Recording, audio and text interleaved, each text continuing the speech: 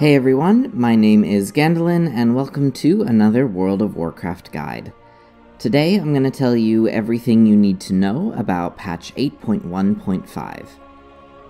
Before we get started, I just wanted to say a big thank you to everyone who checked up on me during my absence.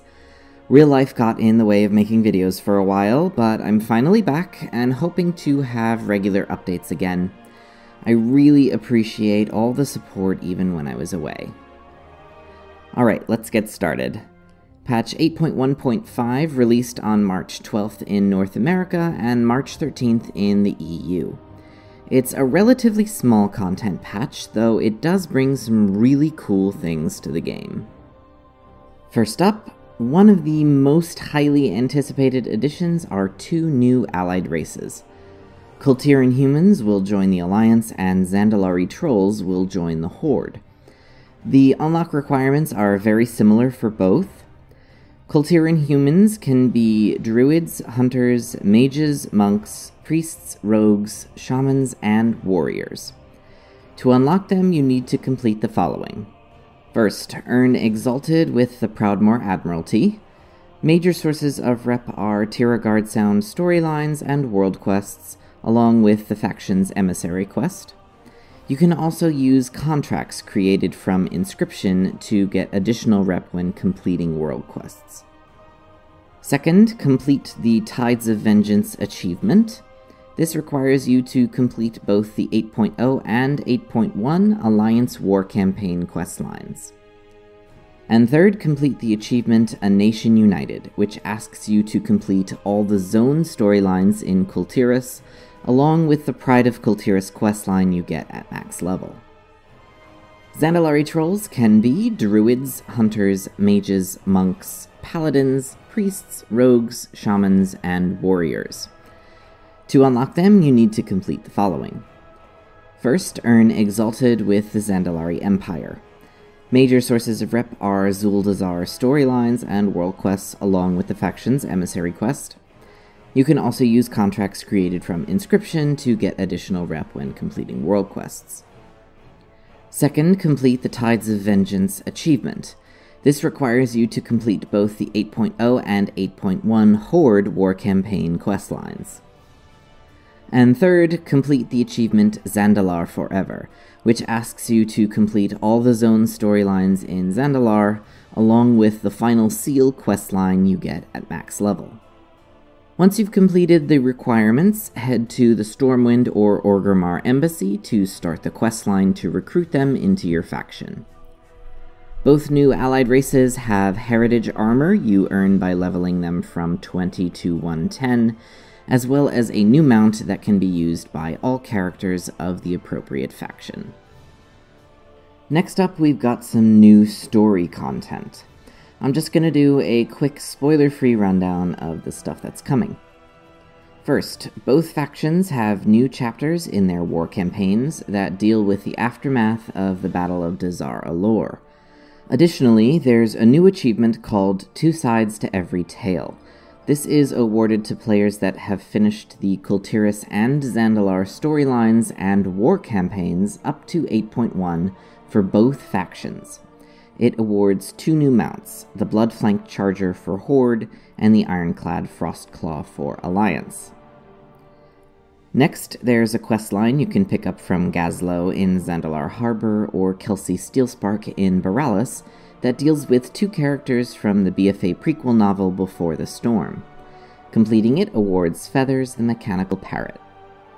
There's also a new questline in Silithus with Magni and his continuing efforts to heal Azeroth. And then we have some exciting news for hunters. There is a new questline about Hati, the pet bound to the Beast Mastery artifact from Legion.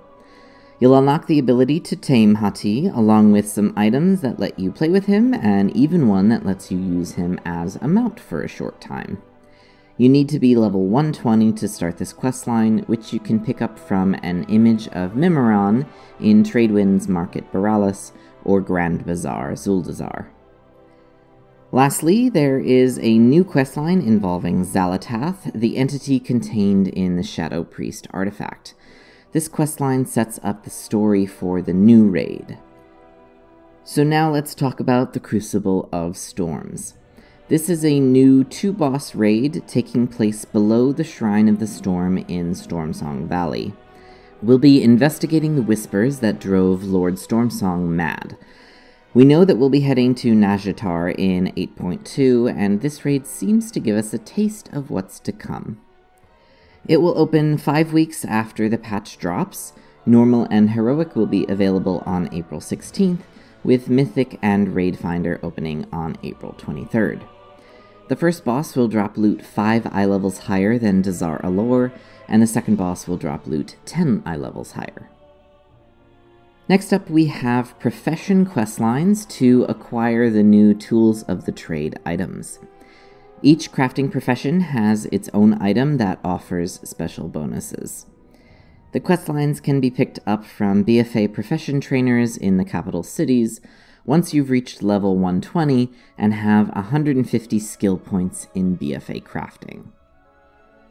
Next up, let's talk about class changes.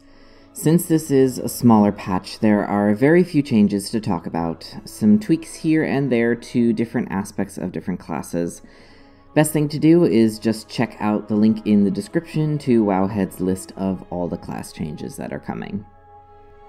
Next are the new portal rooms in Stormwind and Orgrimmar. These are meant to consolidate and streamline portal travel from your faction's capital city. Stormwind's room is located inside the Mage Tower, in the same place the old room used to be, and Orgrimmar's room is located inside the city's main gate. Part of this change also means that several portals in older areas of the game have been removed, like the ones in Legion Dalaran. The Cataclysm portals in each city remain unchanged, and there is an NPC in the new portal rooms that can still send you to the Blasted Lands. Despite some of the drama this has caused, I do have to say the rooms are beautiful, and so are the new portals. Next up, for those of you that like challenging single player content, the Brawlers Guild is returning. This time there is a quest line involved as you progress through the ranks. You'll be investigating a murder mystery and can earn a Brawlers Guild transmog set, tabards, and shirts, as well as everyone's favorite Crocolisk, Bruce, as a mount. Now let's talk about the changes for PvP. First up, Arathi Basin and Warsong Gulch have been remastered. Nothing has changed about their setup or gameplay, but now they look much more modern. Second, there is a new PvP brawl for Arathi Basin called Comp Stomp. Players will face off against a team of AI opponents. This new brawl will be available on March 19th. And lastly, Wintergrasp is returning as a new epic battleground. For the first week of the patch, it will be available as a brawl, and after that, it will be in the epic battleground section of the group finder. Next up, let's talk about world events. First, we have the addition of Warlords of Draenor Timewalking, which will first pop up in May 2019. It will include the following dungeons Auchindoun, Bloodmaul Slag Mines, Everbloom, Iron Docks, Shadowmoon Burial Grounds, and Skyreach. There are two new mounts that can be purchased for 5,000 badges each, along with some new toys, rep items, and time warped gear. Next, the Darkmoon Faire has received some updates. There is a new ride, the Darkmoon Roller Coaster. It functions just like the carousel, costing one ride ticket to enter and giving you the wee buff as you ride it. The fair also has three new balloon pets you can purchase for 90 tickets each.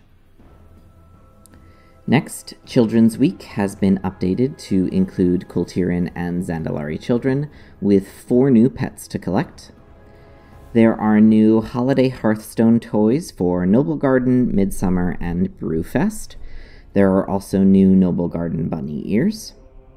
There will be a new season of Trial of Style on March 24th with new transmog sets to earn for each armor type.